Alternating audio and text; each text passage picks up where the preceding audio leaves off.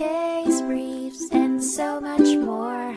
LS Data's got what you're looking for.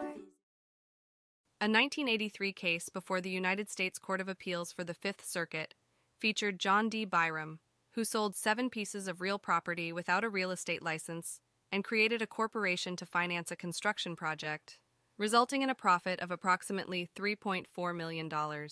When the IRS disallowed Byram's deductions for interest payments on his tax returns, the court had to determine the correct standard for reviewing the district court's finding of holding purpose. The court found that Byram held properties for investment purposes and was entitled to capital gains treatment, but couldn't deduct interest payments made for his corporation, as he can't deduct interest on another's debt. The district court's decision was upheld, and Byram's cross appeal was rejected. Case briefs, Got what you're looking for. Visit lsd.law, elevate your mind. Leave the stress of class